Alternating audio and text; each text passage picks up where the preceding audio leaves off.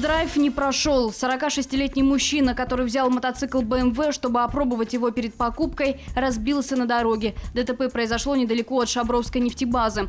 Мотоциклист, не справившись с мощным внедорожником, столкнулся с фурой. Водитель тягача пытался увернуть, и лобовое столкновение удалось избежать. Однако за собой многотонник вез прицеп, груженный кирпичами. В него и врезался байкер-новичок. Мотоцикл отбросил на идущую сзади Тойоту, а резко тормозившую иномарку, в свою очередь, ударила сзади Mitsubishi. Травмы мотоциклиста оказались несовместимы с жизнью.